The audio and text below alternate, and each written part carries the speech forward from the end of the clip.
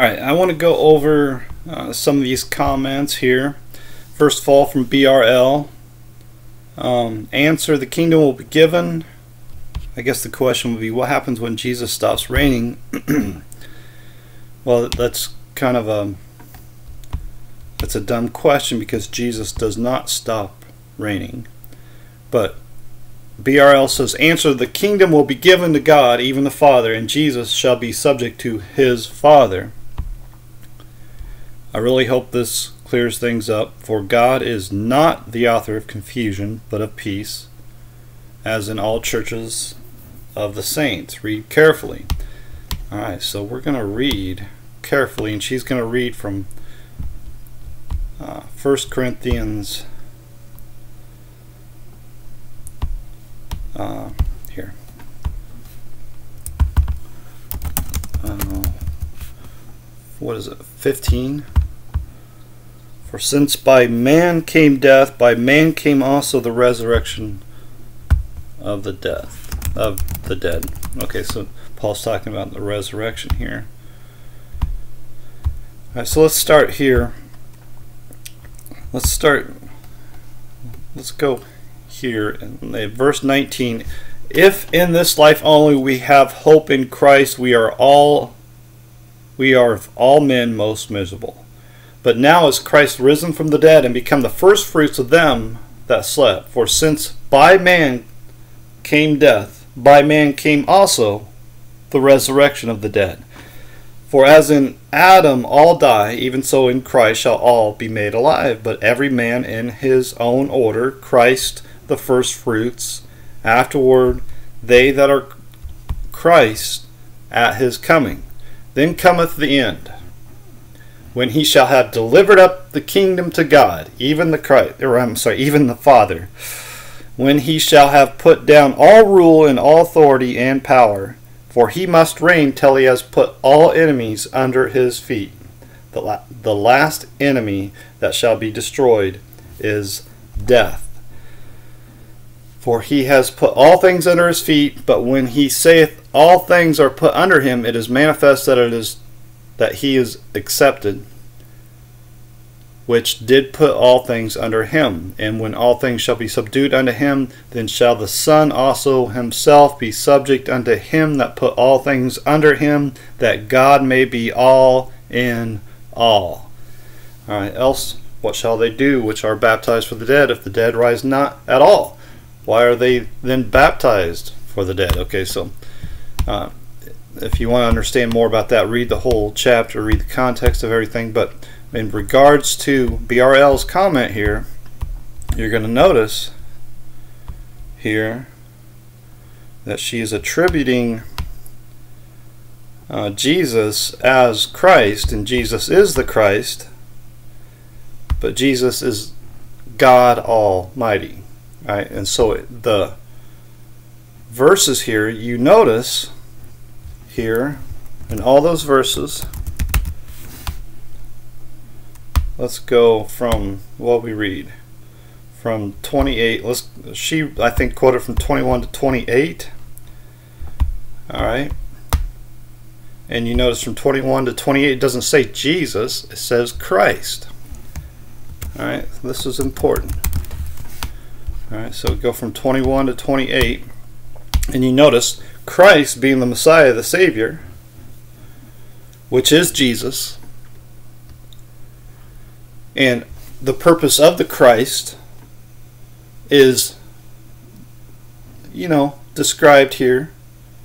Uh, it's explained here that, um, where's this verse at?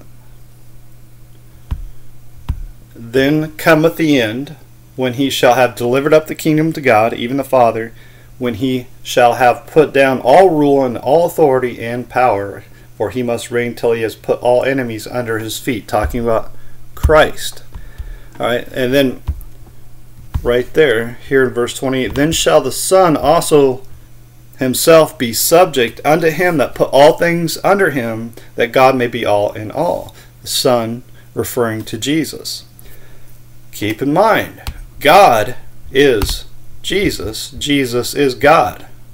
All right, so we could go to just do great mystery. Without controversy, great is the mystery of godliness. God was manifest in the flesh. This is talking about Jesus. Jesus is manifest in the flesh. Right? And the, the reason why I say Jesus is because the name of God is Jesus. Jesus is God. He's not separate from God. He is God. All right, so let me read the last verse here. Did I get everything that she quoted here? I hope. Wherefore I also, after I heard of your faith in Lord Jesus, I let's see.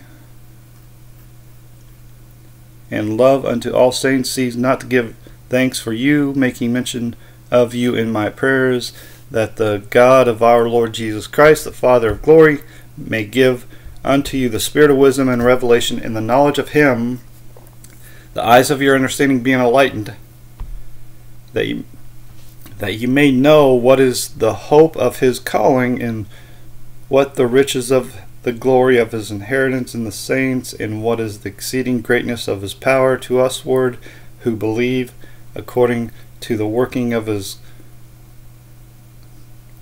uh-oh.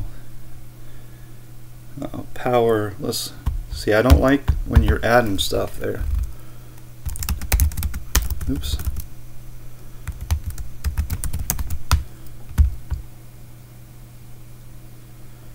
Alright, so let me find a, where's that at?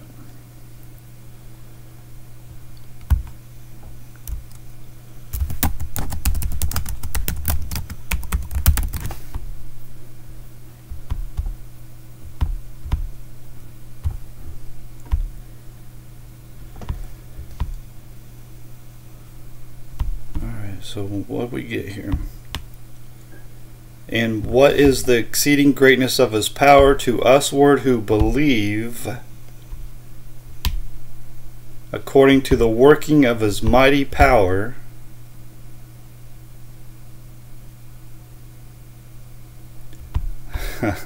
so you're you're trying to make a separation from Jesus and God the Father. Jesus is God the Father. All right, that's important to understand. There's no separation. All right, so and what are you what are you going to here? So, okay, which he has, which he wrought in Christ when he raised him from the dead and set him at his own right hand in the heavenly places far above all principality and power and might and dominion and every name that is named, not only in this world, but also in that which is to come, and has put all things under his feet, and gave him to be the head over all things to the church, which it is his body, the fullness of him that filleth all in all. Now, that for an unbeliever it's impossible to understand. For a believer, we ought to understand that Jesus is God Almighty. So when we're talking about Christ, we're talking about the Savior, the Messiah. When we're talking about God the Father, we're still talking about Jesus. So Jesus is Christ, He is God the Father, He is, he is the Son of God. He is the Son of Man. He is the Savior of the world. He is God Almighty. Okay? So, and again, great is the mystery of godliness. No question about it. So, think about this.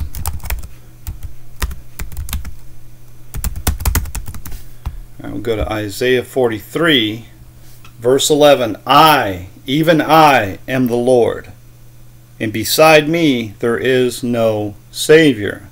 Who said that? Jesus said that.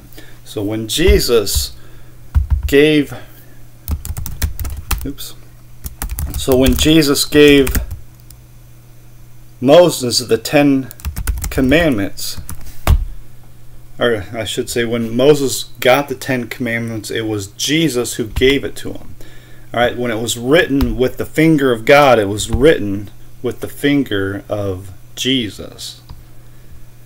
All right. Now, let me read this last part. Jesus saith unto her, Touch me not, for I am not yet ascended to my Father, but go to my brethren and say to them, I ascend unto my Father and your Father, and to my God and your God. Right. So, again, it's important to understand Jesus is the Christ. He is the Son of God. He is the Son of Man. He is God the Father. He is all of those. How many gods are there?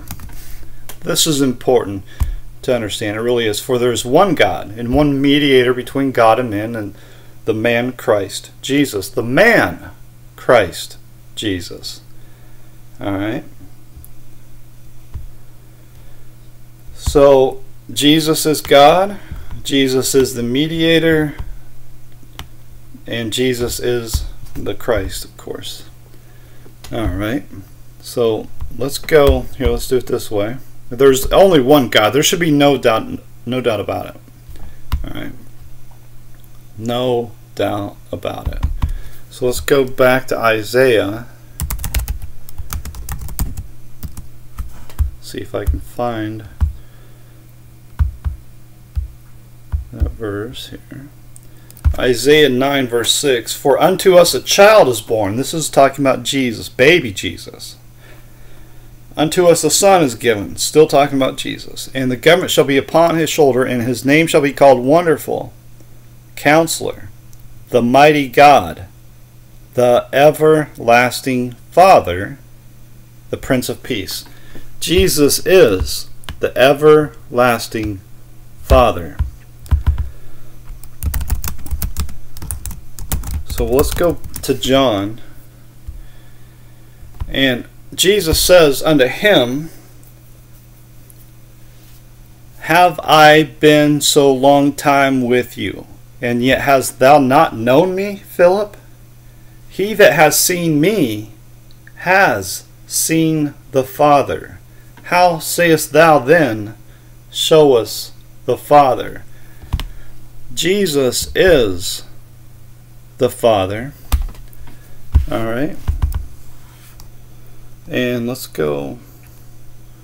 You know, why call me good? There is none good but one, that is God. Right? Jesus saith unto him, Why call me good? There's none good but one, that is God. Well, he's not saying he was wrong. That he was called good because Jesus is God, good master, what shall I do that I may inherit eternal life? Why callest thou me good? There is none good but one, that is God. Well, Jesus is God Almighty. All right, there shouldn't be any doubt about it. So we can go back to Abraham to understand this a little better. Well, let me just tell the story real quick.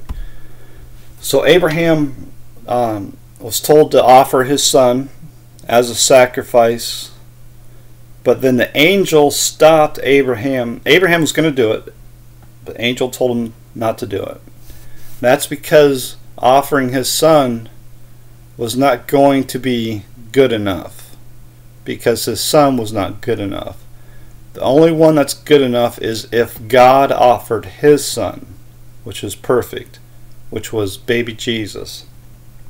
See, God was manifest in the flesh, right?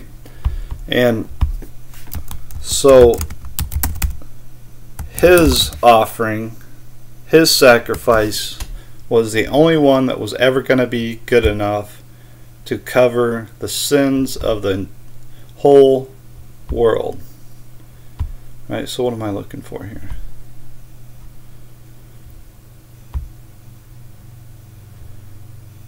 Oh.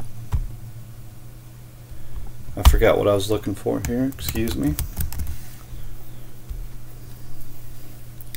All right, there it is. Okay. God was manifest in the flesh, justified in the spirit, seen of angels, preached unto the Gentiles, believed on in the world, received up into glory. This is God. Right, there's only one God. There's not two gods, there's not three gods, there's one God, and it's Jesus. There is no other name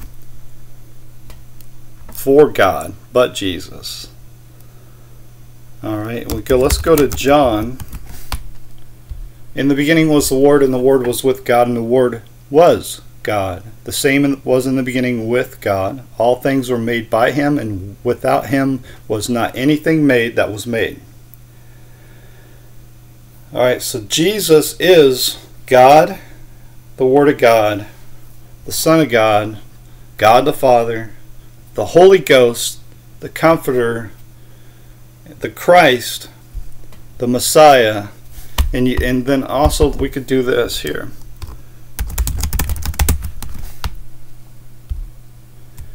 First, or I'm sorry, Matthew 1, verse 23 Behold, a virgin shall be with child, and shall bring forth a son, and they shall call his name Emmanuel, which being interpreted is God with us. Jesus is God Almighty. Now, you still have a doubt or question about that? Let's go to Revelation. Jesus says, I am Alpha and Omega, the beginning and the ending, saith the Lord, which is, and which was, and which is to come, the Almighty. Jesus is Almighty God. There's only one God. It's Jesus. All right, and then we let's go to Revelation 22 verse 13. I am Alpha and Omega, the beginning and the end, the first and the last. There's none before him, there's none after him. He is God Almighty. All right, so he's God the Father, God the Son, he's the Holy Ghost, He is God Almighty. All right, so look, let, us go back to John and um,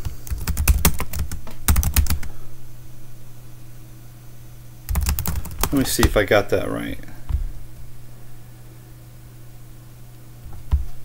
Let me see if I got that right. Let's see here. Alright, so he's talking about right here I will come to yes I will not leave you comfortless I will come to you now uh, what he's talking about is the Spirit of God alright I will pray the Father and he shall give you another comforter that he may abide with you forever even the Spirit of truth whom the world cannot receive because it seeth him not neither knoweth him but ye know him for he dwells with you and shall be in you I will not leave you comfortless. I will come to you. And he's talking about the Spirit of God. And you go back to John 3 when Jesus says, Verily, verily, I say unto thee, ye must be born again. He's talking about being born of the Spirit of God. So when you are born of the Spirit of God, that Spirit that you are born of is Jesus. He is the Spirit of God. He is the Christ, the Messiah, the Son of God, God the Father, the Holy Spirit, the Spirit of truth, the Comforter. He is all those things. It's Jesus. There is no other God. There's one God. It's Jesus. Okay, so the question is now, uh, all this pertains to the question, or the uh, there was a comment made. Uh, somebody said that, well, what happens when Jesus stops reigning? Well, he hands over his kingdom to the Father. Well, Jesus is the Father. Okay, so he's not giving up his kingdom for anything. Right? He's he reigns forever. There's no doubt about it. Uh, you have to, you cannot, you cannot dismiss this verse here. You can't do it. The scripture cannot be broken. You either believe what the scripture says or you don't. And the scripture here says, He shall reign over the house of Jacob forever. And of his kingdom there shall be no end. This is talking about Jesus. Make no mistake about it. So Jesus is not handing over his kingdom to another person. Right? So in if we understand that and we understand what BRL is uh, quoting here in First Corinthians 15 and that he's talking about Christ shall hand over what is this here? Let me find he must reign till he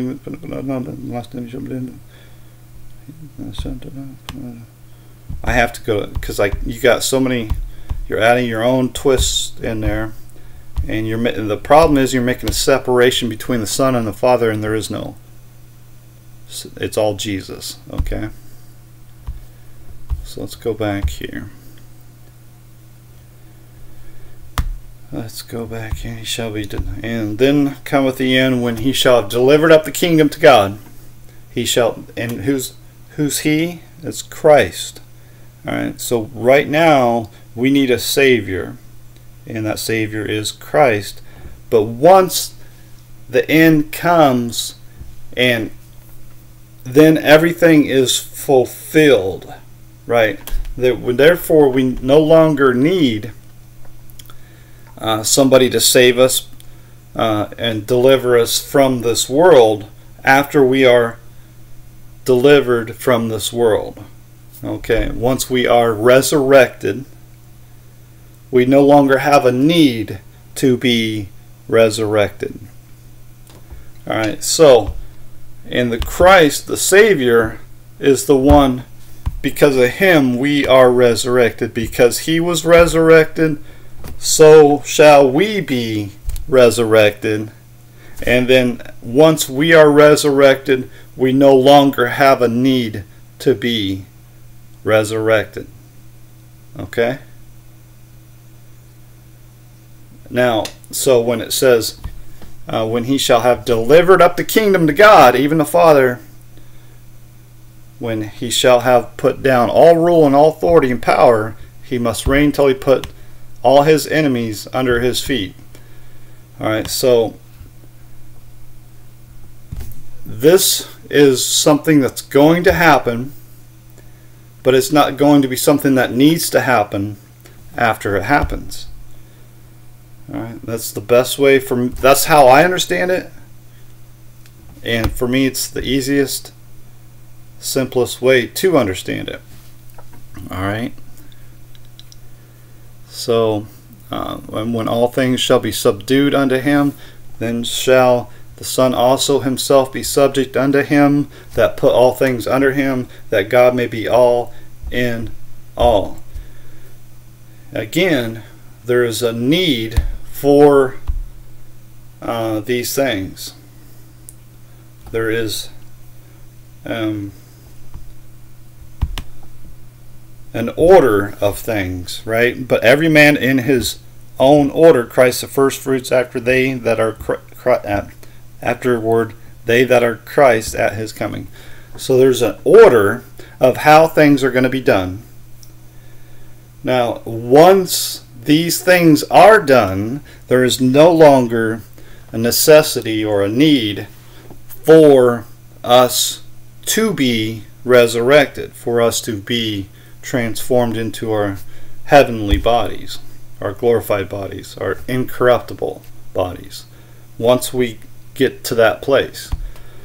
So that's all that's talking about when it talks about um, when it talks about he shall when when the end comes then cometh the end when he shall have delivered up the kingdom to God even the Father when he shall when he shall have put down all rule and all authority and power.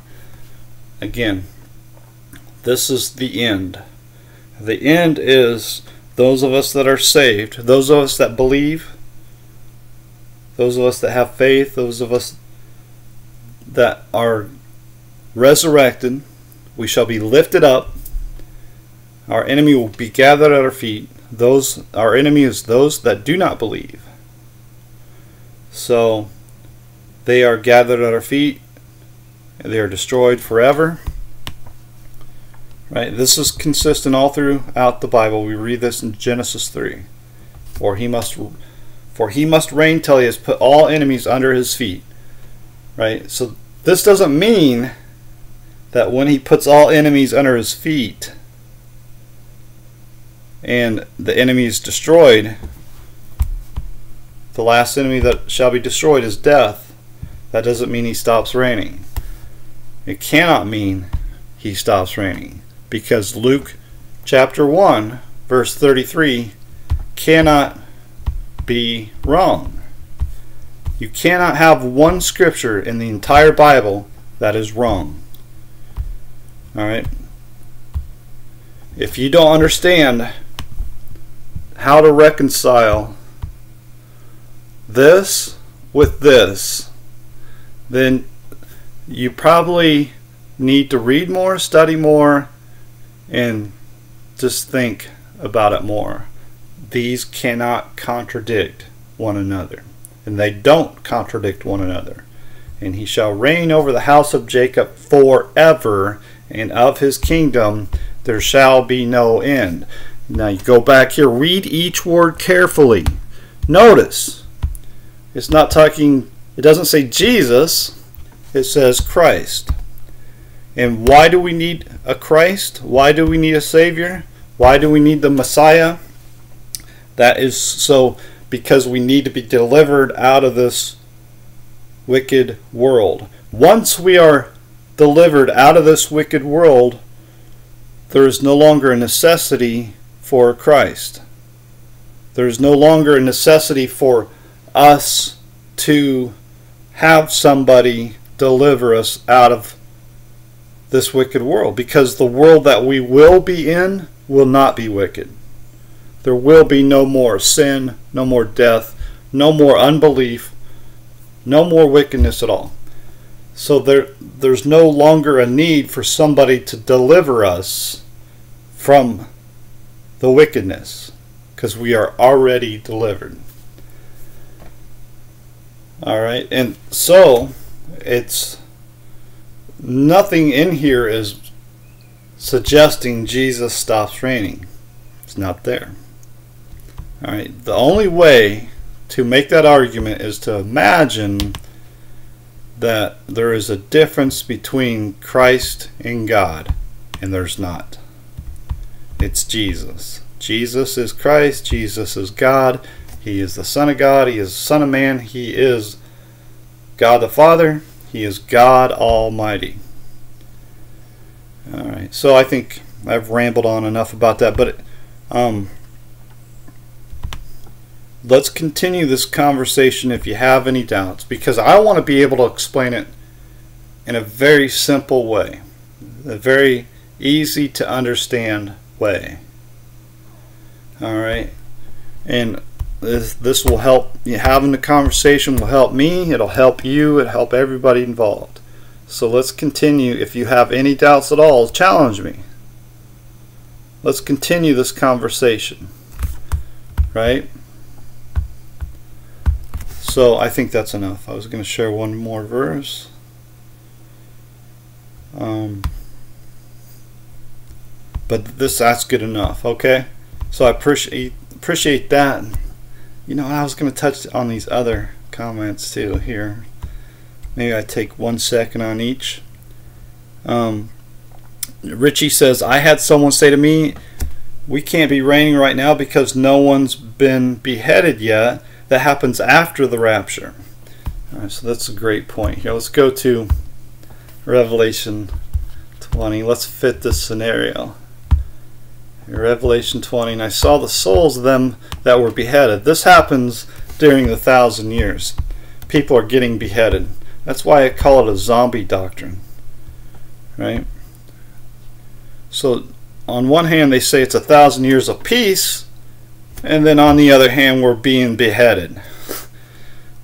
That's brilliant. That's absolutely brilliant.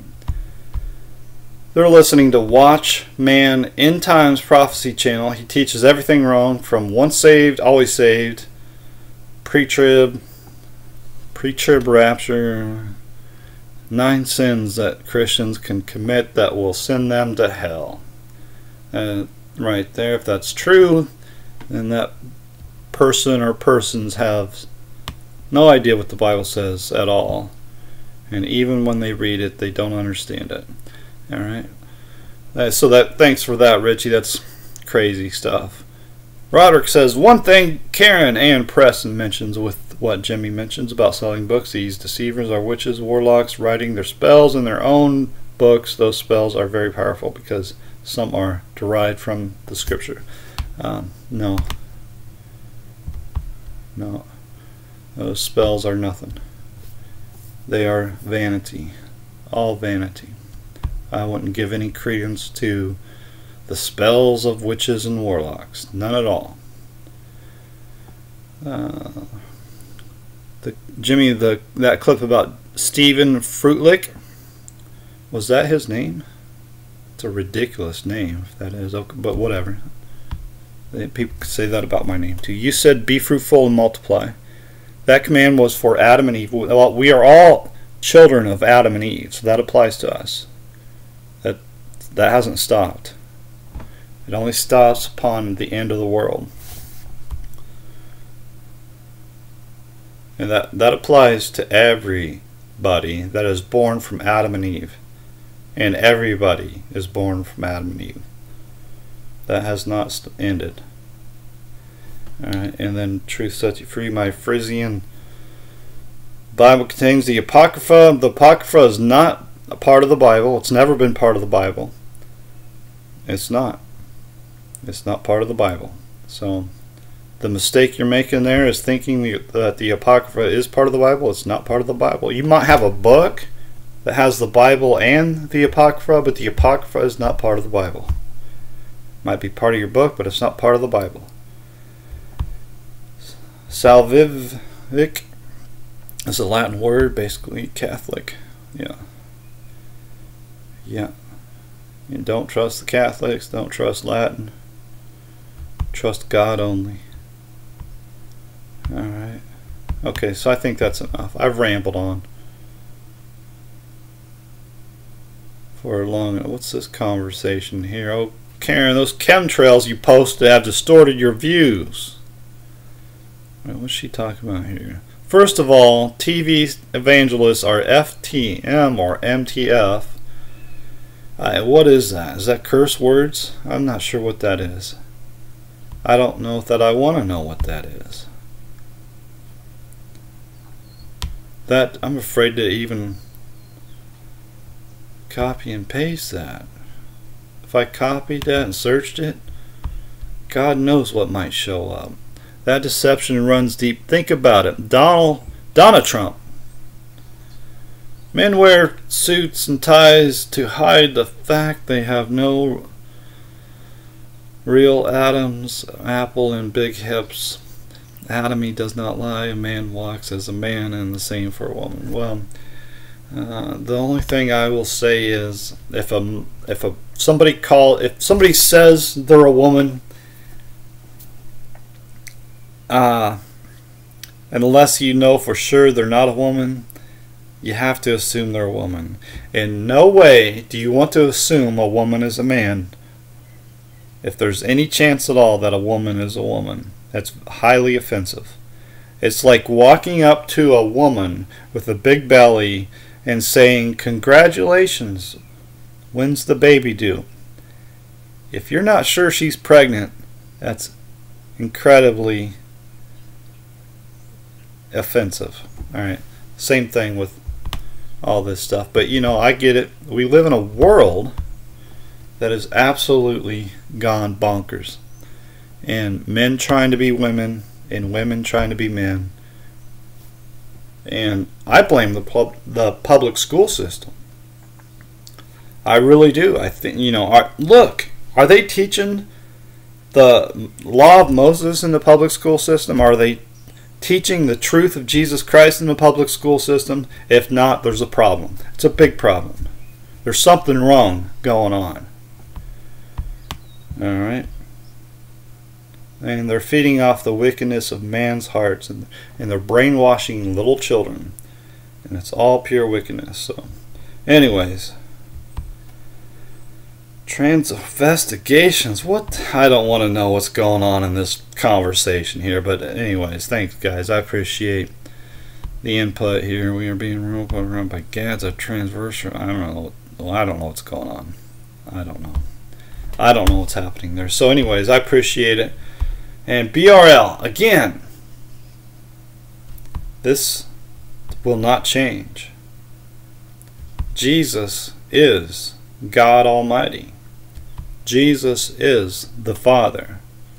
Jesus is the Son. Jesus is the Christ. Jesus is the Messiah. Jesus is the Holy Ghost. Jesus is the Holy Spirit. Jesus is the Comforter. When we are born of God, we are born of Jesus because Jesus is God Almighty.